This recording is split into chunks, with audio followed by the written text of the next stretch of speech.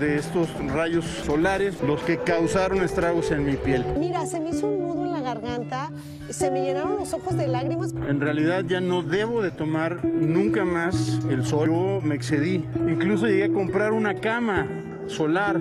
El querido actor Eduardo Capetillo se encuentra de vuelta de nueva cuenta a la televisión. Luego de nueve años de su última aparición en pantalla, Ahora este nuevo proyecto lo tiene realmente muy entusiasmado, pues justamente se dio a conocer la noticia de que este actor estuvo participando en esta telenovela con formato de serie llamada Donde hubo fuego, misma que estuvo siendo producida por la plataforma de Netflix. Y ahora, sin duda alguna, el ex Timbiriche espera que a través de este nuevo proyecto él pueda recuperar aquella fama y bonanza que en su momento tuvo cuando participó en melodramas como Marimar, Baila conmigo y Alcanza una estrella. Sin embargo, en la vida de Eduardo Capetillo no todo es color de rosa ni alegría pues una delicada situación de salud incluso podría afectar lo que sería su regreso al mundo del espectáculo, pues desafortunadamente este querido actor estuvo revelando recientemente que había padecido de una enfermedad que definitivamente afecta sus actividades del día a día,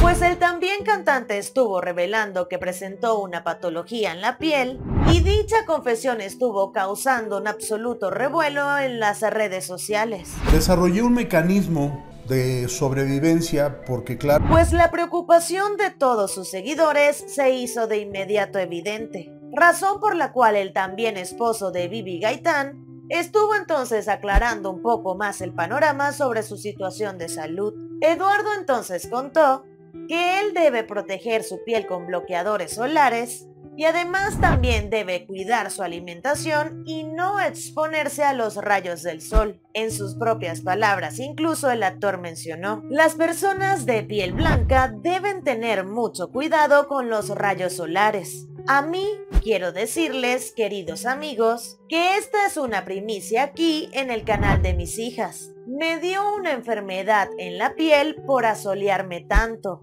Y entonces mi dermatóloga que es una persona que quiero muchísimo, mi querida Olga Labastida, me dijo, nunca más te vuelve a dar un rayo de sol. Fue entonces como este querido actor estuvo haciendo su confesión a través del canal de YouTube de sus hijas y evidentemente esto causó mucho sobresalto entre sus seguidores, pues muchos comenzaron a preocuparse considerablemente por el estado de salud de este actor.